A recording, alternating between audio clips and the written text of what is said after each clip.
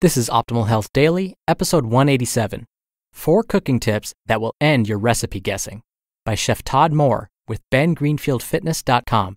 And I'm Dr. Neal Malik, reading you some of the most popular health and fitness blogs out there, with author permission, of course. Now, today features a guest post from Ben Greenfield's site. It's written by an actual chef, so hopefully you'll find these tips useful. And I personally am super excited to read this particular post to you all. What's funny is people automatically assume that because I'm a registered dietitian nutritionist, that I automatically know everything there is to know about food and cooking also. And that's really not the case. What was actually really disappointing for me when I was going through school is that we actually don't learn a whole lot about food and cooking.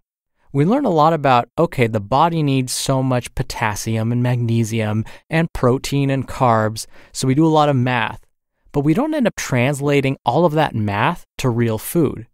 I know it probably sounds really surprising, right? Like, how is that possible?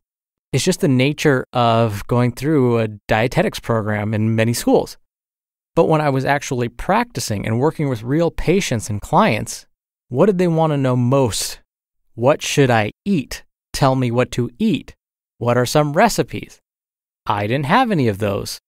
So I had to actually spend a lot of time on the web trying to find healthy, nutritious recipes and hoping that if I run them through a statistical program, they'll meet all of these macro and micronutrient requirements that I've set for them.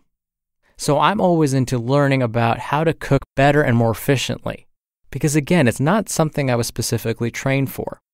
So with that, let's hear today's post and start optimizing your life. Four Cooking Tips That Will End Your Recipe Guessing by Chef Todd Mohr with BenGreenfieldFitness.com. Cooking is not made easy when you're still guessing. In fact, guessing at cooking increases the stress because guessing makes you unsure of the results to come. I'm going to give you a little cooking help by offering some tips on how to end your guessing.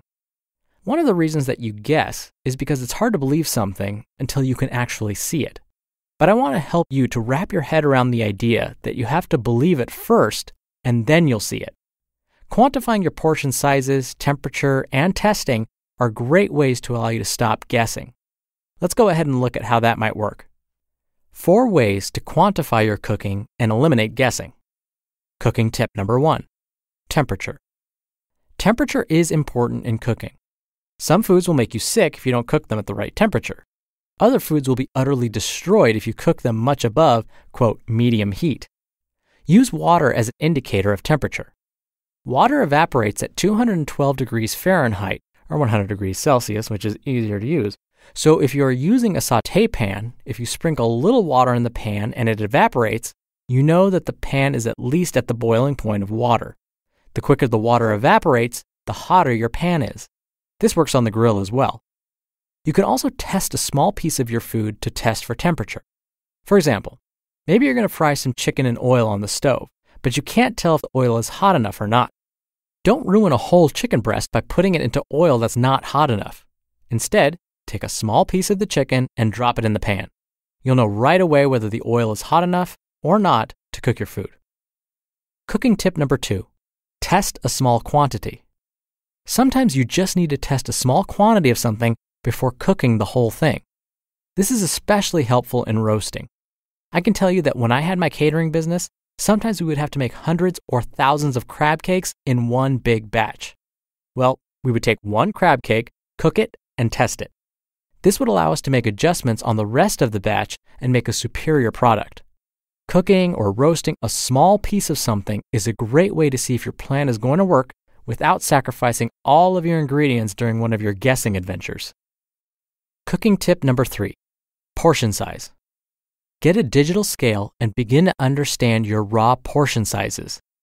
Let me tell you a story about how I discovered the importance of this tip.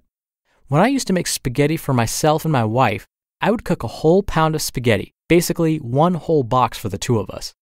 When we sat down to eat, because so much spaghetti was available, we ate more than we should have.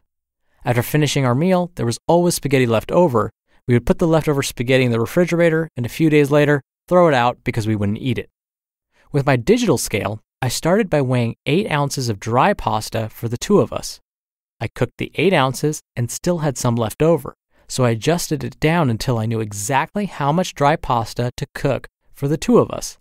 5.3 ounces is our perfect amount. Knowing this finally made cooking pasta easy. We don't overeat and we don't have leftovers. Understanding and knowing your portion sizes will also help you to not overbuy at the grocery store because you'll know exactly how much to buy of a product to feed your family for a particular meal. And make sure you stick to the portion sizes. If you're cooking frozen shrimp from a bag and the portions end up leaving three shrimp in the bag, don't just dump them in the meal and cook them. No, you'll be feeding too much to your family. Leave them in the bag and cook them the next time. You don't have to just make the whole package all of the time. Cooking tip number four test spices. If you're making a pot of something and you need to add spices, don't start throwing in the spices and guess what it's going to taste like.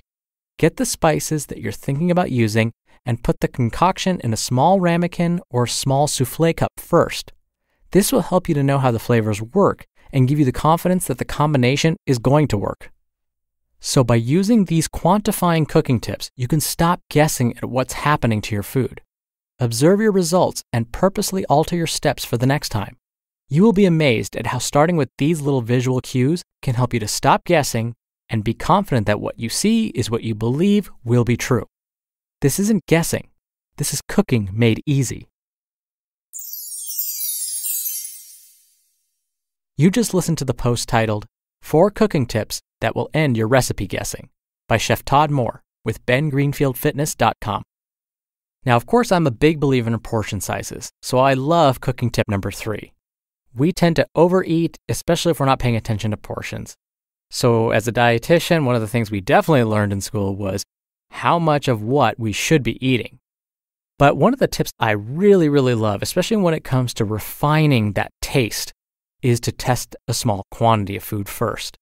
That's something I've been doing with my homemade uh, turkey burgers and homemade turkey meatballs, for example. So, what I'll do is I'll cook very miniature versions of a burger or a meatball and then taste it. I want to make sure that the salt is right, that there's enough flavor in each bite, and then I'll adjust accordingly.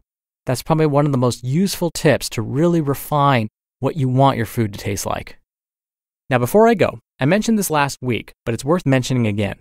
The Minimalists recently donated 60 books to us, and Leon from the Kindness Diary series on Netflix also sent 25 books and we'll be giving them away in raffles to people on our mailing list. So, if you want to be a part of that, plus get free spreadsheet tools from us, a weekly email with more tips, life quotes, and more, come by oldpodcast.com and join the mailing list for free. All right, that's it for today. I'll be back tomorrow with another post from JC Deen, so stay tuned for that, where your optimal life awaits.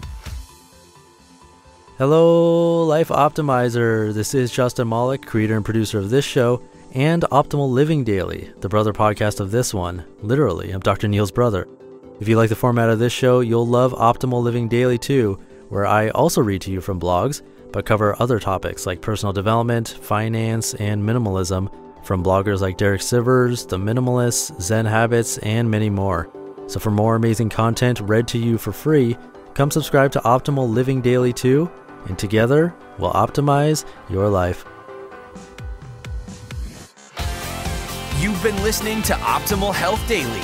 Be sure to hit the subscribe button to stay up to date on each new episode and head to oldpodcast.com. That's oldpodcast.com for a free gift, as well as more actionable tips and resources to help you maximize your potential. Thanks for joining us, and remember, your optimal life awaits.